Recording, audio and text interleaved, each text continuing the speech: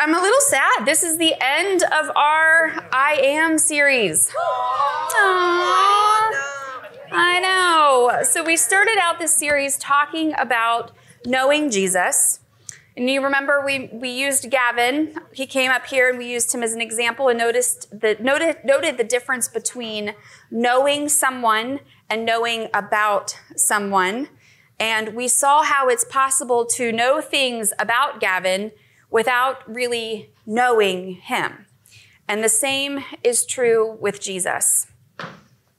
We can know things about him, but he wants us to know him personally, intimately, spending time with him and learning from him who he really is.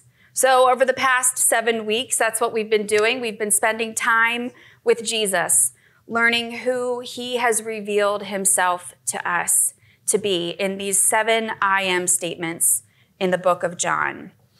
If you remember, the very words I am are significant to us because they show us that Jesus isn't just a good guy, he's not just a prophet, he is not just a ticket to heaven. Jesus is I am. That I am that revealed, the same I am that revealed himself to us in the Old Testament. He is Yahweh. He is the one who is. Yahweh reveals himself to us through the person of Jesus. In John 14, 7, Jesus says, If you know me, you'll know my Father. And in John 10, 30, he says, I and the Father are, are one. So God wants us to know him and we know more about him, about who he is, by looking at the life and the teaching of Jesus. Throughout the book of John, Jesus said, I am the bread of life, the light of the world, the door, the good shepherd, the true vine, the way, the truth, and the life. And this week, our last one, Jesus said, I am the resurrection and the life. Life is 100% fatal. No one makes it out alive. Even Jesus had experiences with death. But he is the resurrection and the life, and he has power over death, as we're going to see in John chapter 11. If you have your Bible, you can turn there or you can follow along on the screen. In John 11, verses 17 through 27. We see this before this passage, we see that Jesus has been sent word from Mary and Martha that their brother Lazarus, one of Jesus' dearest, closest friends, is sick. And when he heard the news, he told his disciples that this sickness would not end in death. No, this sickness would be used for God's glory. So Jesus stays where he is for about two more days, and then on the way to Judea, Jesus told his disciples that Lazarus had fallen asleep, but he was going to go and wake them up. They thought the sleep, you know, you need sleep to get better, right? They said, that's good, he'll get better. And then Jesus told them, no, Lazarus is dead. So let's pick up in John 11, 17. On his arrival, Jesus found that Lazarus had already been in the tomb for four days. Four days is pretty stinky. Now, Bethany was less than two miles from Jerusalem, and many Jews had come to Martha and Mary to comfort them in the loss of their brother. When Martha heard that Jesus was coming, she went out to meet him, but Mary stayed at home. Lord, Martha said to Jesus, if you had been there, my brother would not have died. But I know that even now, God will give you whatever you ask. And Jesus said to her, Your brother will rise again. Martha answered, I know, he will rise again in the resurrection at the last day. And here it is. Jesus said to her, I am the resurrection and the life. The one who believes in me will live, even though they die and whoever lives by believing in me will never die. Do you believe this? Yes, Lord, she replied, I believe that you are the Messiah, the Son of God, who is to come into the world. So Lazarus had been dead for four days. And Jesus shows his power over death. And if you know the story, you know that he called Lazarus out of the grave. But what he did with Lazarus was not a resurrection, it was a resuscitation. He was brought back to life, the same as he was before. Jesus says, I am the resurrection and the life because the resurrection isn't an event, it's a person. It's Jesus. So, Jesus, the resurrection and the life, has been a part of God's redemptive plan from the very beginning. When God created the world, when He created the, the land and the sky and the sea and the plants and the animals, when God created the first humans, Adam and Eve, in the Garden of Eden, it was perfect.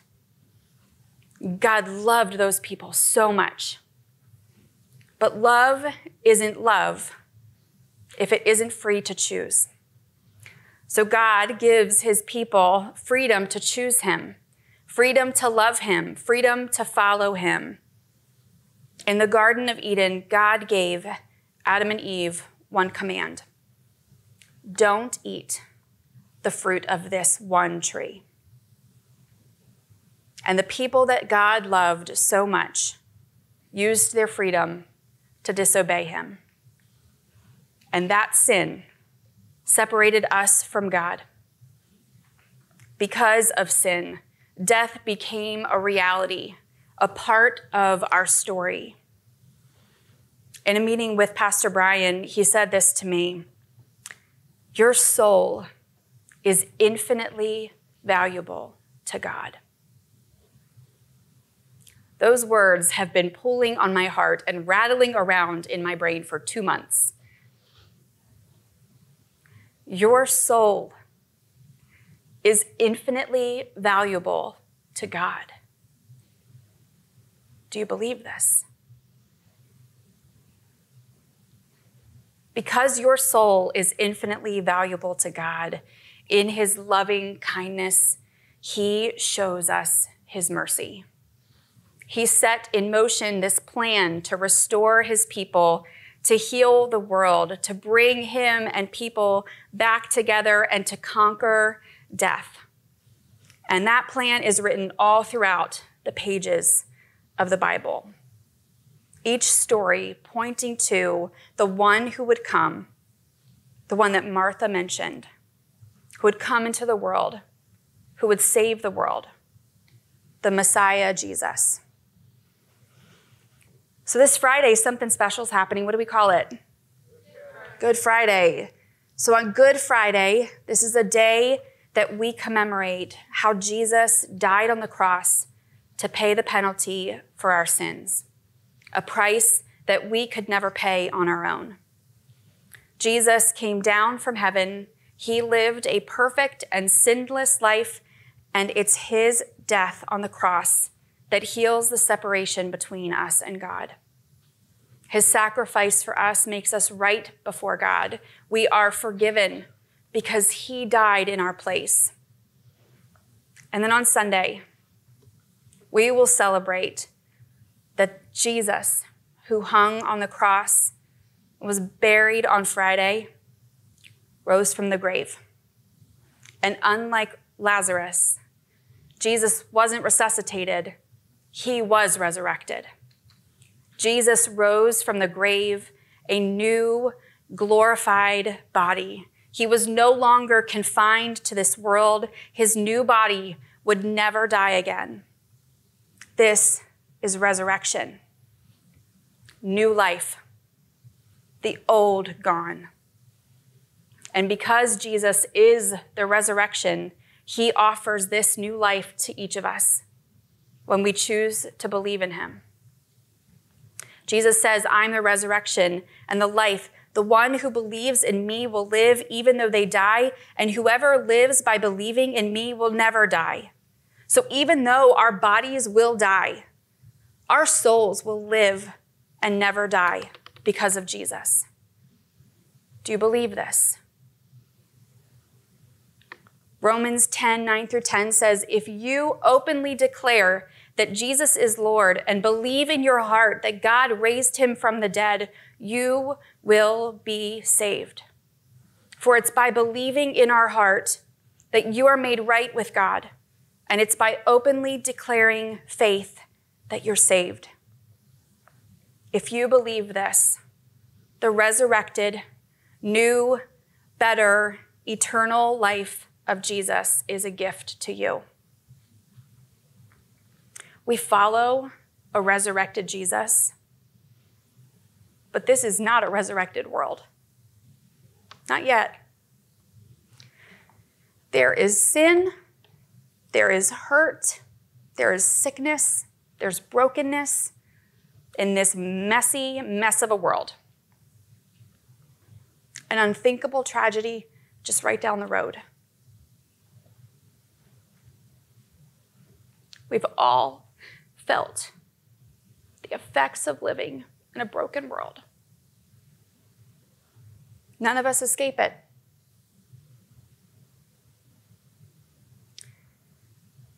But here's what I know is true Jesus is making all things new. And one day, we're going to get a resurrected body. And we're going to live in a resurrected world. But we don't have to wait for one day for our souls. Because right now, our souls can receive the eternal life of the resurrected Jesus. Your soul is infinitely valuable to God.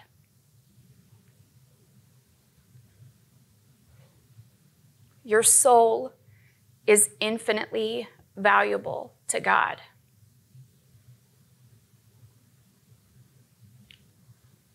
He wants to resurrect your life now and forever. In John 17, 3, Jesus is praying to his Father about this eternal life that he came to give. And he says, Now this is eternal life, that they know you, the only true God, and Jesus Christ, whom you have sent.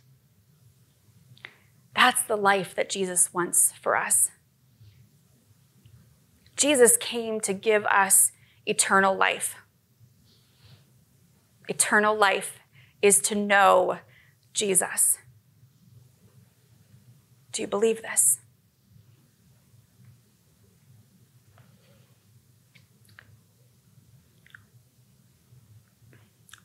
Going to feel like a really weird place to kind of cut some time off here, but um, I'm going to invite the band to come back up and we're going to close in some worship, but we're going to do things a little bit differently.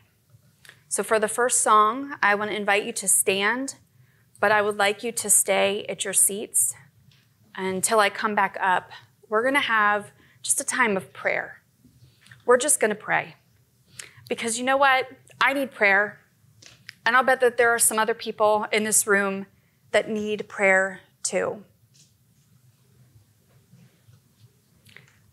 Do you know Jesus? Do you want to know Jesus? Do you know him, but maybe your relationship has just gotten off track and you want to get back on track with him? You want to renew your commitment to him? Are you experiencing hurt or pain in your heart or in your body or in your relationships? Are you unsure about your future and need the Good Shepherd to guide you? Are there any sins that you are struggling with that you want to confess and walk away from? Are there any areas of your life that you need Jesus to resurrect? we would love to pray for you. No matter how big or how small this prayer request, we would love to pray with you. So let's just stay back at our chairs.